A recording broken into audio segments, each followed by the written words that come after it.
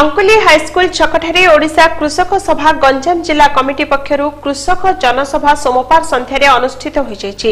ଏହି ସମାବେଶରେ ଅଖିଳ ଭାରତ କୃଷକ ସଭାର ଯୁଗ୍ମ ସମ୍ପାଦକ ବିଭୁ କିଷାନ ରାଜ୍ୟ ଉପସଭାପତି ଜଗନ୍ନାଥ ମିଶ୍ର ରାଜ୍ୟ ସାଧାରଣ ସମ୍ପାଦକ ସୁରେଶ ପାଣିଗ୍ରାହୀ ଜିଲ୍ଲା ସାଧାରଣ ସମ୍ପାଦକ ପି ହରିକୃଷ୍ଣ ରେଡ୍ଡି ଜିଲ୍ଲା ଯୁଗ୍ମ ସମ୍ପାଦକ ବସନ୍ତ ନନ୍ଦ ସର୍ବଭାରତୀୟ କୃଷକ ନେତା ଅମଲ ହାଲଦାର କୟାସ ଷଡଙ୍ଗୀ ବାବୁଲା ନାୟକ ବାଉରୀ ପ୍ରଧାନ ପ୍ରମୁଖ ଯୋଗ ଦେଇଥିଲେ।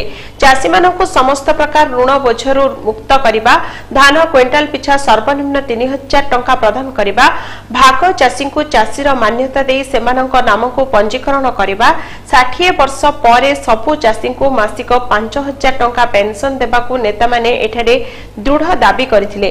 ଏହି କୃଷକ ସମାବେଶରେ ଆଙ୍କୁଲି ସମେତ ଆଖପାଖ ଅଞ୍ଚଳର ବହୁ କୃଷକ ଯୋଗ ଦେଇଥିଲେ।